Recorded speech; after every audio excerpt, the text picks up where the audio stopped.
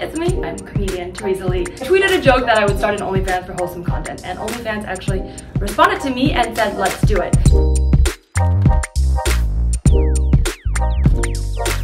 I love OnlyFans because I can use it to connect more with my confidants that really love my content um, and want to interact more with it, including beyond my comedy. I love to talk about the singularity, about robots. I watch movies and then have very unhinged reviews.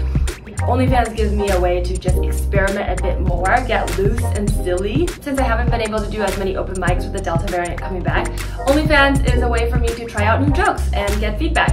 Um, not too much feedback, okay? So if you like me and you like OnlyFans, you can follow me on OnlyFans, Teresa Lee, for comedy.